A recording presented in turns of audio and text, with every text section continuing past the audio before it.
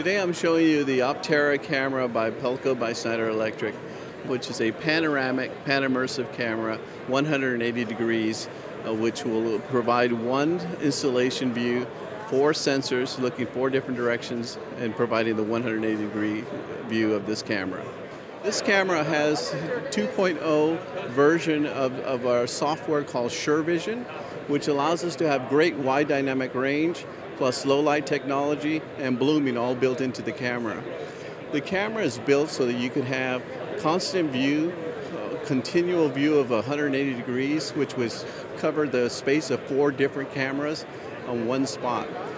This camera is available for indoor and outdoor applications, and we are going to have the ability to have this IP PoE Plus, and gives you the option to have eight analytics built into the camera itself.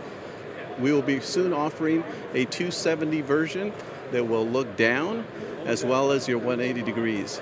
Also, we're going to have a 360 degree camera soon to be offered to look at 360 degrees around your view.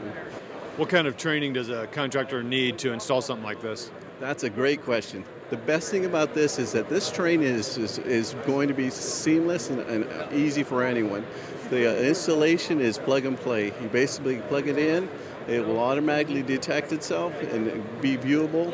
Anyone going into the settings will be guided by a self adjustment onto your view on a web browser. Very easy to work with and very easy to install.